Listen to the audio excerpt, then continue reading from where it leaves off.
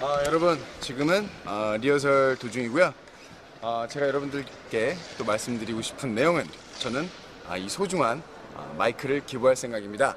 어, 11년 전부터 어, 꼭 이 마이크를 어, 사용을 했었는데요. 저희 땀과 열정과 이런 노력들이 들어있는 마이크입니다.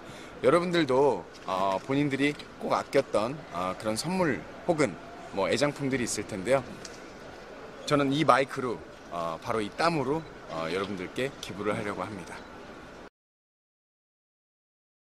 여러분들 인생에서 어, 운명이라고 하는 차가 있는 것 같아요. 그러니까 다들 그 운명의 차를 좋은 차를 타고 있는데 단지 내가 지금 서 있는 이 길이 막힐 뿐이지 그 옆에 도로가 너무나 고속도로처럼 쌩쌩 달리고 있다 해서 누가 더 잘 나간다고 해서 어, 그것이 다가 아닌 것 같아요. 또 오른쪽이나 왼쪽 길이 막히면 그 내가 서 있는 그 차선이 잘 나갈 때가 있거든요. 어, 즉 뭐냐면 기회는 언제나 오고 성공은 언제나 오지만 기다리는 자에게 분명히 온다라는 거죠.